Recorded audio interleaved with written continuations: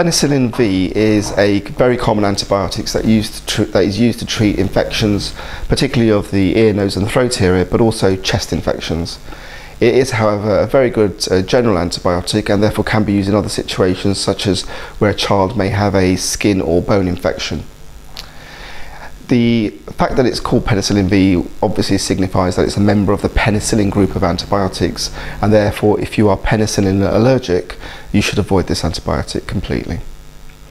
It's usually given um, in a dose regime that uh, is four times per day uh, but this can change sometimes depending upon um, the requirements um, uh, dictated by your doctor.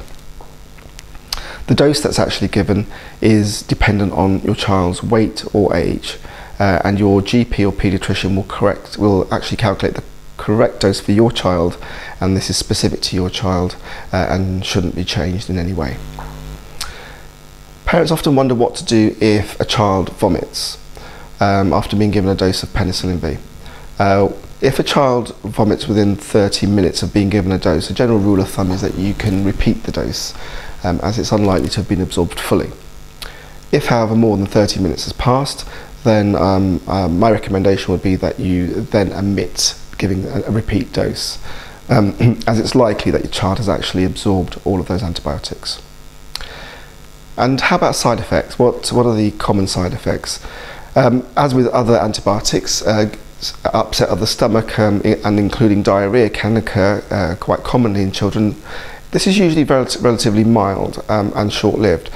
So if it is severe and uh, it persists for more than 24 hours, you should seek um, the input of your GP to determine whether or not your child needs to be changed to another type of antibiotic or drug completely.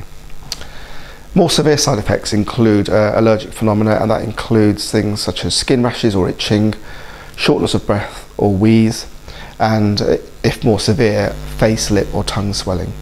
In these situations, uh, you should take your child to hospital uh, or call an ambulance if you think that the reaction is severe enough. Thank you.